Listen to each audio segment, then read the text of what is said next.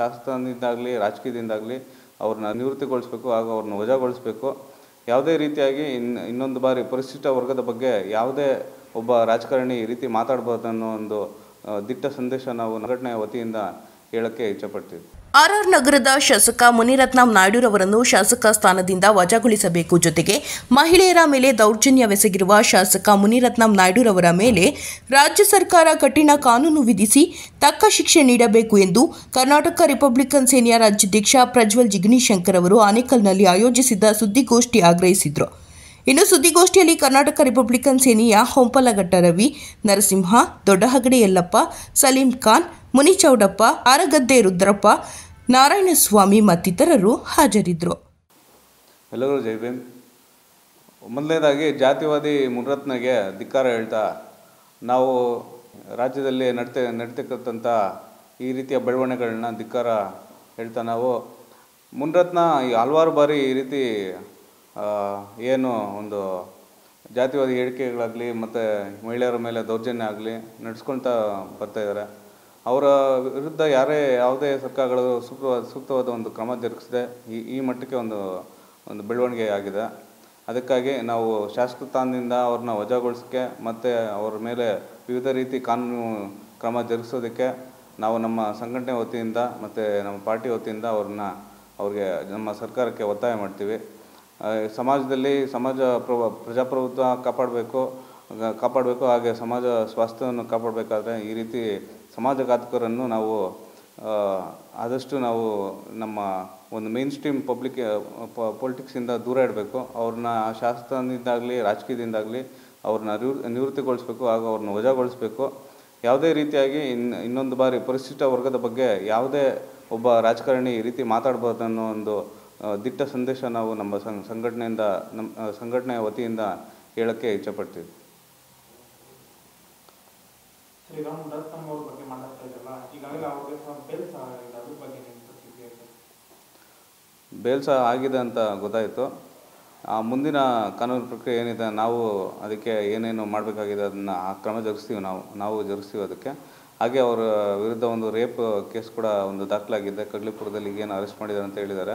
ಈ ಮನುಷ್ಯನ ವಿರುದ್ಧ ಹಲವಾರು ಪ್ರಕರಣಗಳಿದ್ದು ಅವ್ರ ಮೇಲೆ ಯಾರು ಸೂಕ್ತ ಕ್ರಮ ಜರುಗಿಸ್ ಜರುಗಿಸ್ತೇ ಇರ್ತಕ್ಕಂಥ ಕಾರಣಕ್ಕೆ ಇಷ್ಟು ದಿನ ಅದು ಮುಂದಕ್ಕೆ ಇಷ್ಟು ದಿನ ತಂದು ತಂದಿರೋರು ಇನ್ನು ಮೇಲೆ ಅವ್ರಿಗೆ ಯಾವುದೇ ರೀತಿಯಾದ ಒಂದು ರಾಜಕೀಯ ಒಂದು ಬೆಂಬಲ ಸಿಗೋದಿಲ್ಲ ಅಂತ ನಾವು ಭಾವಿಸ್ತೀವಿ.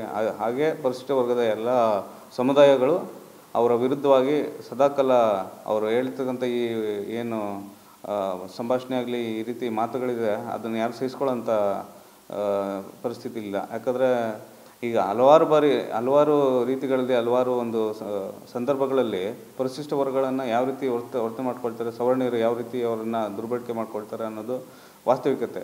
ಅದಕ್ಕಾಗಿ ನಾವು ಯಾವುದೇ ರೀತಿಯಾಗಲಿ ಇಂಥ ಶಾ ಇಂಥ ಒಂದು ರಾಜಕಾರಣಿಯನ್ನು ನಾವು ಬೆಂಬ ಬೆಂಬಲಿಸೋದಿಲ್ಲ ಅಂತ ಹೇಳೋಕ್ಕೆ ಇಚ್ಛಪಡ್ತೀನಿ. ಮುಂದಿನ ಹೋರಾಟ ಮುಂದಿನ ಈಗ ಎಫ್ ಎಸ್ ಎಲ್ ರಿಪೋರ್ಟ್ ಬಂದು ಬಂದಿಲ್ಲ ಇನ್ನೂ ಬಂದಿಲ್ಲ ಅದು. So F S L report ಬಂದ ಮೇಲೆ ಇನ್ನೂ ಯಾವ ರೀತಿ ನಡೆಸ್ಬೇಕು ಅನ್ನೋದು ನಾವು ಚರ್ಚೆ ಮಾಡಿ ಮಾಡಬೇಕಾಗುತ್ತೆ. ಅದೇ ರೀತಿ ಈಗ ಎಫ್ ರಿಪೋರ್ಟ್ ಬರೋಕ್ಕಿಂತ ಮುಂಚೆನೂ ಬಂದಮೇಲೂ ಇವರು ಶಾಸಕತಾನ ಒಂದು ಇದ್ದರೆ ಇವ್ರಿಗೆ ಪವರ್ ಇರುತ್ತೆ ಮತ್ತು ಅವರು ದೌರ್ಜನ್ಯ ಮಾಡೋದಕ್ಕೆ ಒಂದು ಅಡ್ವಾಂಟೇಜ್ ಇರುತ್ತೆ ಅವ್ರಿಗೆ. ಸೊ ಅದಕ್ಕಾಗಿ ಯಾರ್ಯಾರು ಸಂತ್ರಸ್ತರಿದ್ದಾರೋ ಅವರೆಲ್ಲ ಆ ಒಂದು ಭಯದಿಂದ, ಭಯದ ವಾತಾವರಣದಲ್ಲಿ ಇರೋದು ಬೇಡ. ಯಾಕಂದರೆ ಇವ್ರು ಶಾಸಕತನ ಇರೋವರೆಗೂ ಎಲ್ಲರಿಗೂ ಅವ್ರು ದರ್ಜನ ಮಾಡೋ ಒಂದು ಚಾನ್ಸಸ್ ಇರುತ್ತೆ. ಅದಕ್ಕಾಗಿ ಅವ್ರನ್ನ ವಜಾಗೊಳಿಸ್ಬೇಕು, ಅವ್ರನ್ನ ಶಾಸಕದಿಂದ ಶಾ- ಸ್ಥಾನದಿಂದ ಇಳಿಸ್ಬೇಕು. ಸ್ಪೀಕರ್ ಅವ್ರಿಗೆ ಮತ್ತು ಸಂಬಂಧಪಟ್ಟಂಥ ಒಂದು ಒಂದು ವ್ಯಕ್ತಿಗಳಿಗೆ ನಾವು ದೂರು ಕೊಡ್ತೀವಿ ಅಂತ ಹೇಳೋಕ್ಕೆ ಇಚ್ಛಪಡ್ತೀವಿ ಪರಿಶಿಷ್ಟ ಜಾತಿ ಮತ್ತು ಪರಿಶಿಷ್ಟ ಪಂಗಡಗಳ ವಿರುದ್ಧ ಜಾತಿ ನಿಂದನೆಯನ್ನು ಮಾಡಿರ್ತಕ್ಕಂಥ ಆಂಧ್ರದಿಂದ ಜೀವನಾಂಶಕ್ಕಾಗಿ ಕರ್ನಾಟಕಕ್ಕೆ ವಲಸೆ ಬಂದು ತನ್ನದೇ ಆದ ಕೃಕೃತ್ಯ ಸಾಮ್ರಾಜ್ಯವನ್ನು ಕಟ್ಕೊಂಡು ರೌಡಿಸಮಲ್ಲಿ ಬರೀತಾ ರಾಜಕೀಯದಲ್ಲಿ ಮುಂದುವರಿತಾ. ಇವತ್ತು ದಲಿತ ಸಮಾಜವನ್ನು ಬಹಳ ಹೀನ್ಯವಾಗಿ, ಚ್ಯುತ್ಯವಾಗಿ ಬೈದಿರ್ತಕ್ಕಂಥ ಆರ್ ಆರ್ ನಗರ ಶಾಸಕ ಮುನ್ರತ್ನಮ್ಮವ್ರನ್ನ ಈ ಕೂಡಲೇ ಸಚಿವ ಸ್ಥಾನ, ಇವು, ಕ್ಷಮಿಸಿ, ಶಾಸಕ ಸ್ಥಾನದಿಂದ ವಜಾಗೊಳಿಸಬೇಕು. ಅವರು ದಲಿತ ಸಮುದಾಯಕ್ಕೆ ಮಾಡಿರೋ ಅವಮಾನ ಜಾತಿ ನಿಂದನೆಯ ಜೊತೆಗೆ ನಮ್ಮ ಭಾರತ ದೇಶವನ್ನು ಭಾರತ ದೇಶವನ್ನು ಒಂದು ಹೆಣ್ಣಿಗೆ ಹೋಲಿಸ್ತಾರೆ. ಈ ದೇಶದಲ್ಲಿ ಹೆಣ್ಣಿಗೆ ಭಾಳಷ್ಟು ಗೌರವ ಇದೆ. ತಾಯಿ ಸ್ಥಾನವನ್ನು ತುಂಬುವಂಥ ಈ ಭಾರತ ಮಾತೆಯೇ ಸಹ ಒಂದು ಹೆಣ್ಣು. ಹಾಗಾಗಿ ಹೆಣ್ಣನ್ನು ಬಹಳ ಅತ್ಯುತ್ಯವಾಗಿ ಮಾತಾಡಿರ್ತಕ್ಕಂಥ ಹೀನಾಯ ಶಬ್ದಗಳಿಂದ ಮಾತಾಡಿರ್ತಕ್ಕಂಥ ಮುನ್ರತ್ನಮ್ಮವ್ರನ್ನ ದೇಶದ್ರೋಹಿ ಕಾಯ್ದೆಯಡಿ ಬಂಧಿಸಿ ಮತ್ತು ಜೈಲು ಕಟ್ಟಬೇಕು. ಅವ್ರಿಗೆ ಯಾವುದೇ ವಕೀಲರು ಜಾಮೀನನ್ನು ಕೊಡೋಕ್ಕೆ ಬರಬಾರ್ದು. ಯಾಕಂದರೆ ಒಂದು ಹೆಣ್ಣನ್ನು ಅವಮಾನಿಸಿರೋವಂಥ ಮುನಿರತ್ನಮ್ಮ ಮುನಿರತ್ನಮ್ಮನ ಎತ್ತಿದ್ದ ಒಂದು ಹೆಣ್ಣು ಅವ್ರಿಗೆ ಬೇಲ್ ಕೊಡೋಕ್ಕೆ ಬರ್ತಾ ಇರೋ ವಕೀಲರು ಎತ್ತಿದ್ದ ಒಂದು ಹೆಣ್ಣು ಅನ್ನೋದನ್ನು ಅವರು ಮರೆತಿದ್ದಾರೆ. ಇವ್ರನ್ನ ಈ ಕೂಡಲೇ ಶಾಸಕ ಸ್ಥಾನದಿಂದ ವಜಾಗೊಳಿಸಬೇಕು. ಅದರ ಜೊತೆಗೆ ವಲಸೆ ಕಾಂಗ್ರೆಸ್ ಪಕ್ಷದಿಂದ ಬಿ ಜೆ ಪಿಗೆ ಬಂದಿರತಕ್ಕಂಥ ಮುನಿರತ್ನಮ್ಮ ಬಿ ಜೆ ಪಿಯವರು ಯಾಕೆ ಬಾಯಿ ಮುಚ್ಕೊಂಡಿದ್ದಾರೋ ಗೊತ್ತಾಗ್ತಾ ಇಲ್ಲ. ಇವರು ಕುಮ್ಮಕ್ಕು ದಲಿತರನ್ನು ಮಟ್ಟ ಹಾಕೋಕ್ಕೆ ಇಂಥ ಗುಂಡ ಪ್ರವೃತ್ತಿಯನ್ನು ಹೊಂದಿರತಕ್ಕಂಥ ಶಾಸಕರನ್ನು ಬಳಸ್ಕೊಂಡು ದಲಿತರನ್ನು ಹೀನಾಮಾನವಾಗಿ ಬೈಯೋದು, ಹೆಣ್ಣು ಮಕ್ಕಳನ್ನು ಹೀನಾಮಾನವಾಗಿ ಬೈಯೋದು, ಗುತ್ತಿಗೆದಾರರಿಗೆ ಬೆದರಿಕೆ ಹಾಕೋದು. ಇನ್ನೊಬ್ಬ ರೇಣುಕಾ ಸ್ವಾಮಿಗೆ ಆದ ಪರಿಸ್ಥಿತಿ ನಿನಗಾಗ್ತದೆ ಅಂದರೆ ಈ ಒಬ್ಬ ಶಾಸಕ ಎಷ್ಟು ಗೂಂಡಾಗಿರಿಯಲ್ಲಿ ಮೆರೀತಿದ್ದಾನೆ, ಅವರಿಗೆ ಬಿ ಜೆ ಪಿ ಪಕ್ಷ ಎಷ್ಟು ಬೆಂಬಲವನ್ನು ಕೊಡ್ತಿದೆ ಅನ್ನೋದು ಸಮಾಜಕ್ಕೆ ಅರ್ಥ ಆಗ್ತದೆ. ಆ ನಿಟ್ಟಿನಲ್ಲಿ ಬಿ ಜೆ ಪಿಯವರು ಸಹ ಆತನ ಪಕ್ಷದಿಂದ ಉಚ್ಚಾಟನೆ ಮಾಡಬೇಕು. ಈಗಾಗಲೇ ನಿನ್ನೆ ಬೇಲ್ ಸಿಕ್ಕಿದೆ ಎರಡು ಪ್ರಕರಣದಲ್ಲಿ, ಮತ್ತೊಂದು ಪ್ರಕರಣದಲ್ಲಿ ಮಹಿಳೆ ಅತ್ಯಾಚಾರ ಅಂತೇಳಿ ಮಾಧ್ಯಮಗಳಲ್ಲಿ ನಾವು ನೋಡಿದ್ವಿ. ಎರಡು ಮಕ್ಕಳ ತಾಯಿಯನ್ನು ಅತ್ಯಾಚಾರ ಮಾಡಿರೋ ಒಂದು ಆರೋಪದಡಿ ಕಗ್ಲಿಪುರ ಠಾಣೆಯ ಪೊಲೀಸರು ಬಂಧಿಸಿದ್ದಾರೆ.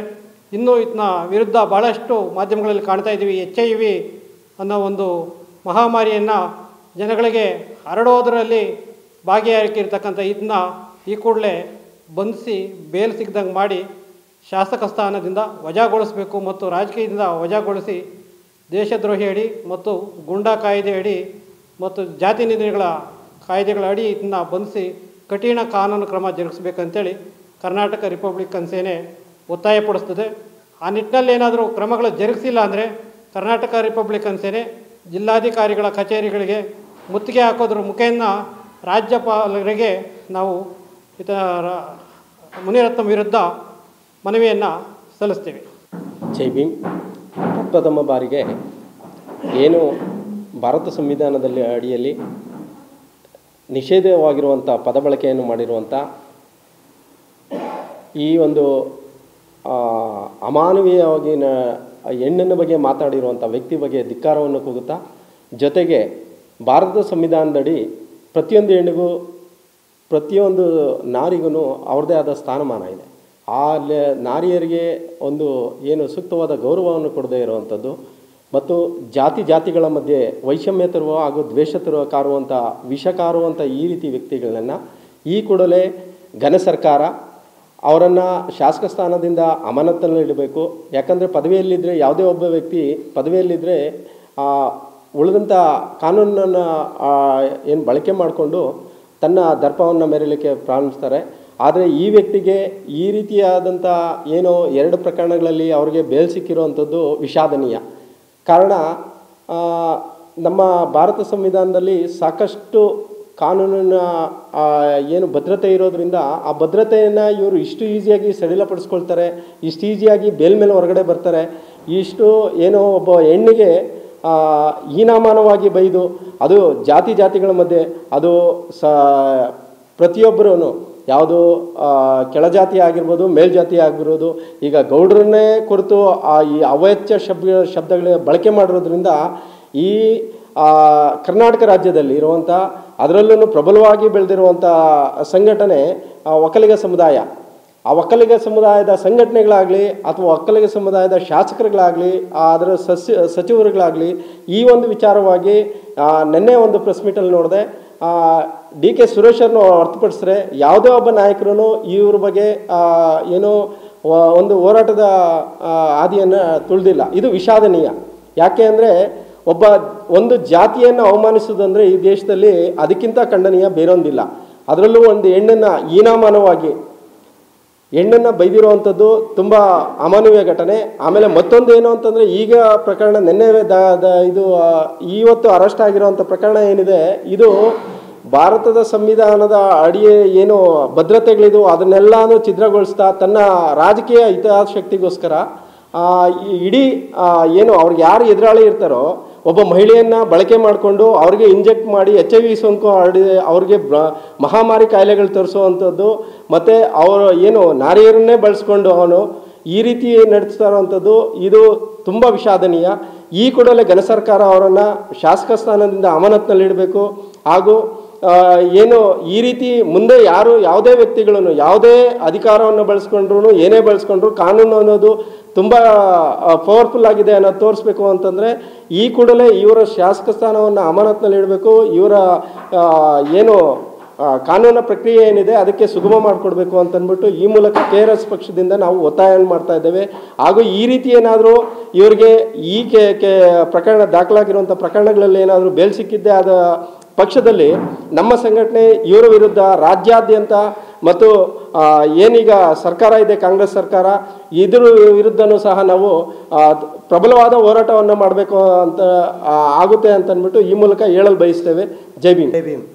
ಕರ್ನಾಟಕ ರಿಪಬ್ಲಿಕನ್ ಸೇನಾ ಪಕ್ಷದಿಂದ ಇಂದು ನಮ್ಮ ರಾಜ್ಯಾಧ್ಯಕ್ಷರಾದಂತಹ ಜಿಗ, ಪ್ರಜ್ವಲ್ ಜಗನಿ ಶಂಕರ್ ಸಾಹೇಬರ ನೇತೃತ್ವದಲ್ಲಿ ಇಂದು ರಾಜ್ಯದಲ್ಲಿ ನಡೀತಾ ಇರತಕ್ಕಂಥ ಒಬ್ಬ ಎಂ ಎಲ್ ಎ ಶಾಸಕರಿಂದ ಆಯ್ಕೆಯಾದಂಥ ಶಾಸಕಾಂಗ ಪಕ್ಷದಲ್ಲಿ ಇರತಕ್ಕಂಥ ಒಬ್ಬ ಎಂ ಎಲ್ ಎ, ರೌಡಿ, ಹೆಣ್ಣುಬಾಕ, ಜಾತಿ ನಿಂದಕ, ಮುನಿರತ್ನ ವಿರುದ್ಧ ಈ ಆನೇಕಲ್ ತಾಲೂಕಿನ ಕೇಂದ್ರ ಘಟಕದಲ್ಲಿ ಇಂದು ಏನು ನಾವು ಪತ್ರಿಕಾಗೋಷ್ಠಿ ನಡೆಸ್ತಾ ಇದ್ವಿ ಕಾರಣ ಇಷ್ಟೇ, ಜಾತಿ ನಿಂದನೆ. ಏನು ಈ ಶೋಷಿತ ಸಮುದಾಯದ ಕೆಳಜಾತಿಗಳಿದ್ದಾವೆ ಆ ಜಾತಿಗಳನ್ನು ಹೀನಾಯವಾಗಿ ಬಳಸಿ, ಆ ಮೇಲ್ಜಾತಿ ವರ್ಗದಾದಂಥ ಗೌಡ ಹೆಣ್ಣುಮಗಳನ್ನು ತನ್ನ ಮಂಚಕ್ಕೆ ಕರೀತಾನೆ ಅಂತಂದರೆ ಇಂಥ ಒಂದು ನೀಚ ವ್ಯಕ್ತಿಯನ್ನು ಆ ಆ ಪಕ್ಷದ, ಯಾವುದು ಬಿ ಜೆ ಪಿ ಪಕ್ಷದವರು ಈ ಕೂಡಲೇ ಅವರಲ್ಲಿ ಒತ್ತಾಯ ಮಾಡೋದು ಏನಂದರೆ ಈ ಕೂಡಲೇ ಅವನ ಪಕ್ಷದಿಂದ ವಜಾ ಮಾಡಬೇಕು.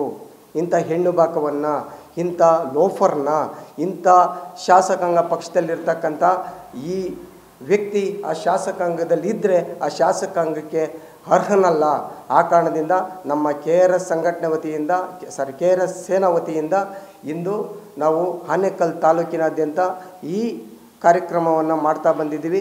ಈ ಮುಂದಿನ ದಿನಗಳಲ್ಲಿ ಏನಾದರೂ ರಾಜ್ಯಪಾಲರವನ್ನು ವಜಾ ಮಾಡಿ, ಸರ್ಕಾರದಿಂದ ಅವನ್ನು ಅನರ್ಹಗೊಳಿಸಿ ಜೊತೆಯಲ್ಲಿ ಅವನನ್ನು ಈ ಜಿಲ್ಲೆಯಿಂದ ಗಡಿಪಾರು ಮಾಡಬೇಕು, ರಾಜ್ಯದಿಂದನೇ ಗಡಿಪಾರು ಮಾಡಬೇಕಂತ ಈ ಪತ್ರಿಕಾಗೋಷ್ಠಿ ಮೂಲಕ ಸರ್ಕಾರವನ್ನು ಒತ್ತಾಯಿಸ್ತಾ ಇವನನ್ನೇನಾದರೂ ನೀವು ಗಡಿಪಾರು ಮಾಡದೇ ಇದ್ದರೆ ರಾಜ್ಯದಿಂದ ಪ್ರತಿ ಜಿಲ್ಲೆಗಳಲ್ಲಿ ಜಿಲ್ಲಾ ಕಚೇರಿಗಳ ಮುಂದೆ ನಾವು ಜಿಲ್ಲಾ, ಮ್ಯಾಜಿಸ್ಟ್ರೇಟ್ ಮುಂದೆ ಉಗ್ರವಾದ ಹೋರಾಟಗಳನ್ನು ಮಾಡ್ತೀವಿ. ಇಂಥ ಹೆಣ್ಣು ಬಾಕ, ಇಂಥ ಜಾತಿ ನಿಂದಕನನ್ನು ಈ ರಾಜ್ಯದಲ್ಲಿ ಇಟ್ಕೊಳ್ಳೋಕೆ ಯಾರೂ ಸಹ ಸಹಿಸಬಾರ್ದು.